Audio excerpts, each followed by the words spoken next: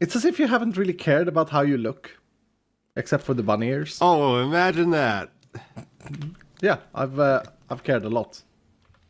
I mean, I got the bunny ears, I got the the skull belt, and the golden shoes, and the.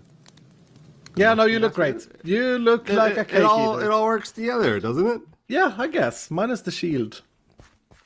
Says the guy with a trash can on his head right now. Okay.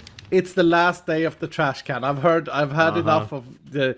Those are the most basic boots I've ever seen as well. I don't know about those. yeah, no, that's true. I forgot to transmog them. and